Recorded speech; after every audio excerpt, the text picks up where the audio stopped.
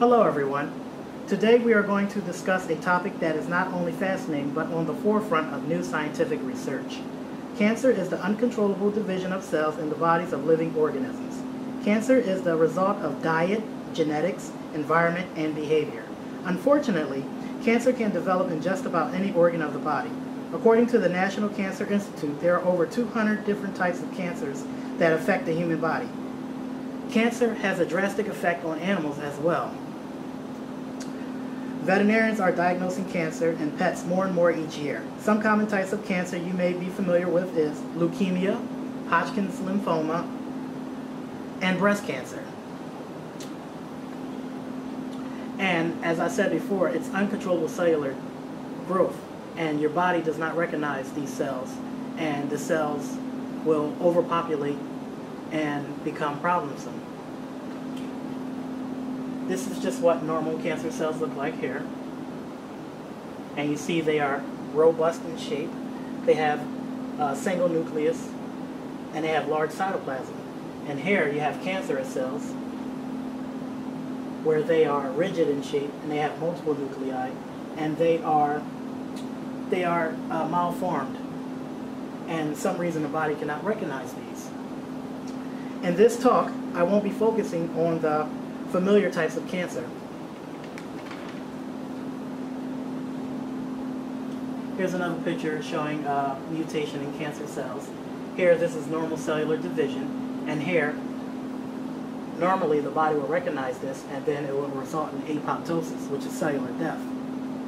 Here, you have a mutated cell, and this is when the body is not functioning properly, and mutation continues until you have a large mass of cancerous cells, which is a tumor, and this tumor can become uh, malignant, causing disease in the long run.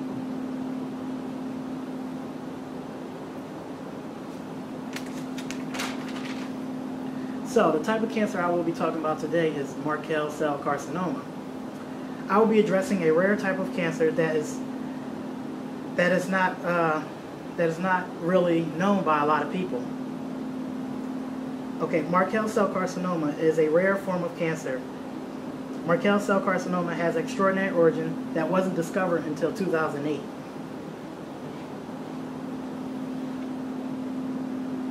What is Merkel cell carcinoma? Merkel cell carcinoma is overdivision of Merkel cells. So what are Merkel cells? This is just a cross-section of the skin layers. This is the top layer of stratum corneum. Second layer is stratum granulosum. Third layer is the stratum spinosum. Fourth layer is the stratum basal. And the fifth layer is the dermis. In the stratum basal, you have Merkel cells which forms uh, a synaptic cleft with a nerve ending. And Merkel cells are responsible for uh, light touch reception. And Merkel cell carcinoma results when these cells here uncontrollably grow and they create a mass. Um, developmentally, the, the, the origin of these cells is still under debate some experiments has been done, and through birds, it was realized that these cells arise from neural crest cells, and in mammals, it was found that they have an epidermal origin. And this is just that picture here. Now we take this picture here, this little section of the picture, and we blow it up. And this is what you have. You have a Merkel cell here, and this is the nerve ending, and you have a synapse. And you can tell, and you can see how Merkel cells have a neuroendocrine function.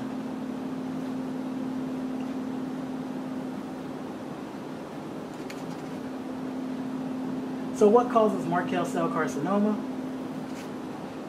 Before the early 1990s, it wasn't known what caused Merkel cell carcinoma. It was realized that maybe it was uh, sun exposure to UV light, um, old age, as well as uh, immunocompromised people.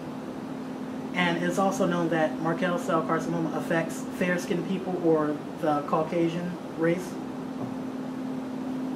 Um, in just about 2008, uh, scientists at the University of Pittsburgh found a virus in the family uh, Polyomaviridae, or polyomavirus, and they found that this virus uh, is found in the tumors of Merkel cells.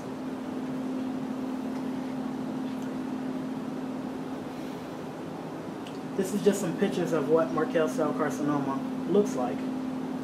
And it becomes a problem when it overdivides and it spreads to the lymph nodes. And it ultimately stops function. It disrupts the body's homeostasis, where the body can't function properly.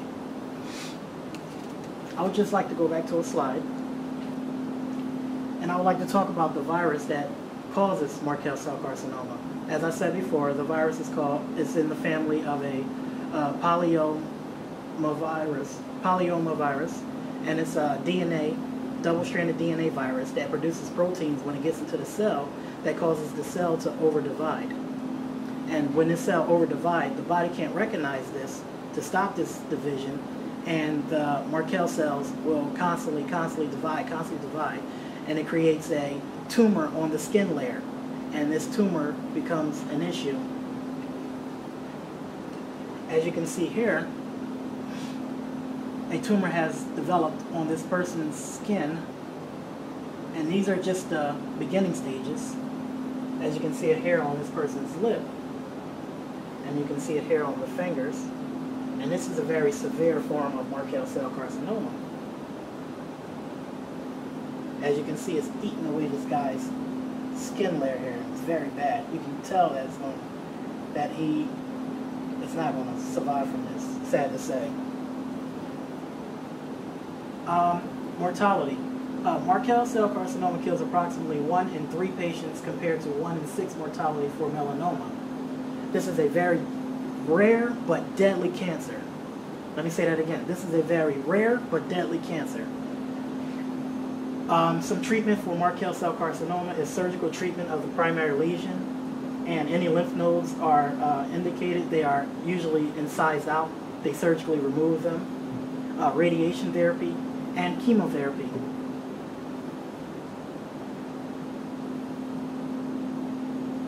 Okay, so the future of Merkel cell carcinoma. Some future uh, aspects of Merkel cell carcinoma is that there are two ways that Merkel cell carcinoma is known to form. One is non-virus, so there's a there has been tumors where there was no virus found in the tumor, and there was there was tumors where they found the virus in it. So how do you treat a, a virus?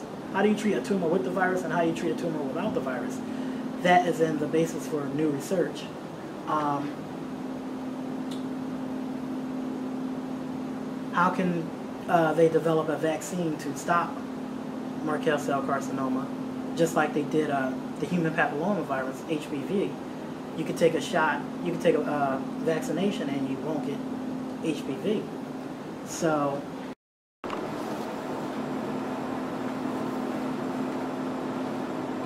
thank you everyone for watching. Stay tuned for more videos. Omar Ballard here. Science rocks.